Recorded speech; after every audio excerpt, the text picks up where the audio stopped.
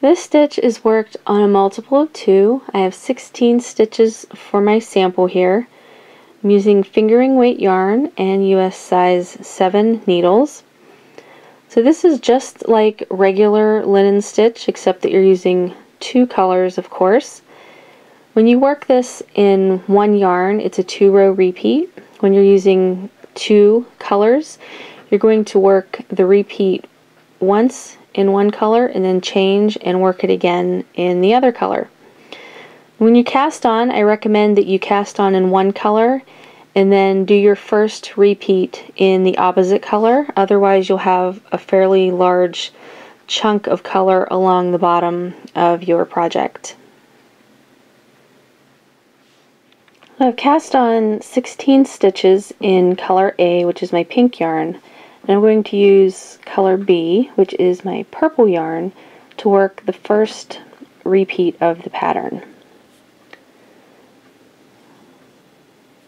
So row one, you knit one, slip one with yarn in front, all the way across the row.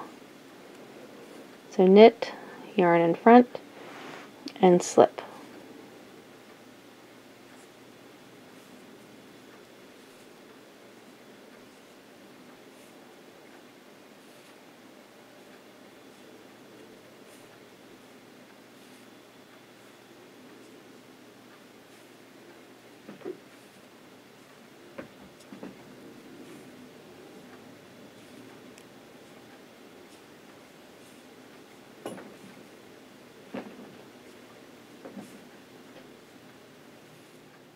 For row 2, I'm going to keep using my purple yarn. And for row 2, you purl one, slip one with the yarn in back. So purl, move the yarn to the back, and slip your next stitch. You just repeat that across the row.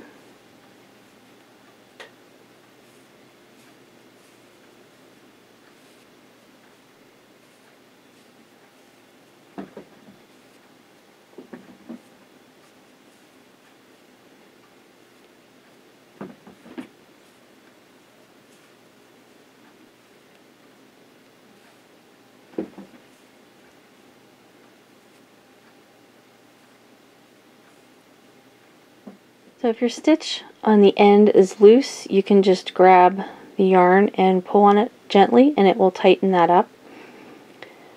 So that was the first part of the pattern. Now we're going to repeat those same two rows, but this time I'm going to use my pink yarn. So to change yarns, you just drop the color you're working with and pick up the next color. And I just wanted to mention when you drop your yarn, and pick up your second. See how this is hanging in the front here? You want to make sure that that is in the back. So just take the color that you were working with and cross it over top of the new color that you'll be using so that it is hanging in the back. So now we're going to repeat row 1 which is knit one, yarn to the front, and slip one.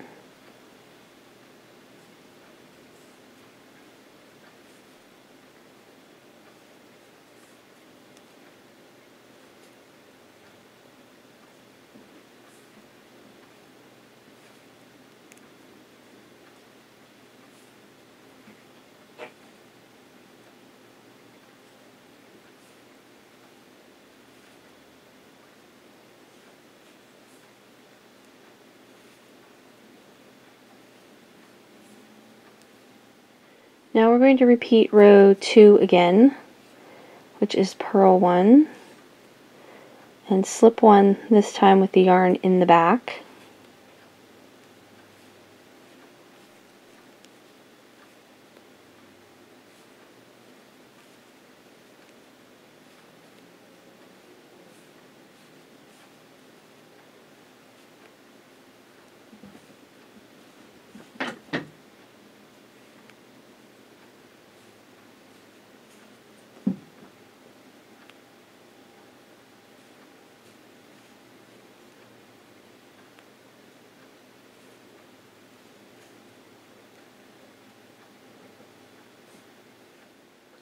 So then after you've worked four rows of the pattern twice in each color, you just start over again with your